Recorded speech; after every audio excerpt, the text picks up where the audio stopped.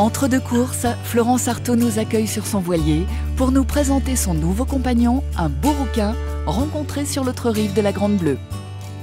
C'est un petit chat que j'ai adopté euh, en Kabylie, sur la côte nord de l'Algérie, dans un tout petit port de pêche où il y avait pas mal de chats errants. Et dont lui qui était tout petit, trop mignon, et je lui ai dit, oh, si t'es encore là quand je reviens, d'ici 2-3 heures, euh, je t'adopte. Et il était tout sale, tout, tout maigre.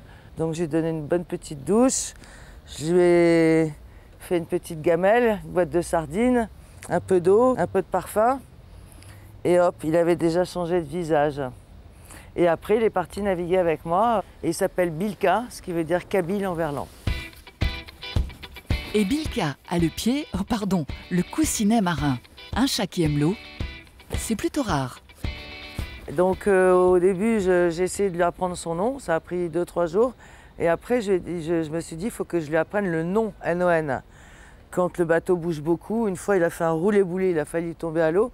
Et en fait, j'avais toujours peur que le chat tombe à l'eau, puis finalement, c'est moi qui suis tombé à l'eau. J'ai réussi à enlever mes bottes, tout ce qui m'empêchait de flotter, le ciré, tout ça. Et j'ai vu que mon téléphone marchait toujours.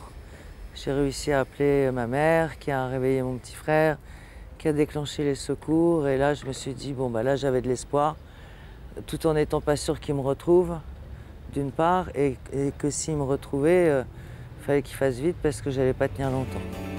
Au bout de plusieurs heures, Florence est enfin secourue. Pendant tout ce temps, Bilka est resté seul sur le voilier. Il était là, il est resté tout seul à bord euh, pendant, pendant presque bah, de 11 h du soir à à 5 h de l'après-midi le lendemain. Euh, quand je l'ai récupéré, il était complètement effrayé. Je l'entendais miauler de super loin. Et après, il ne m'a pas quitté d'une semelle. Dès que je m'éloignais de 50 cm, il se collait à moi en ronronnant.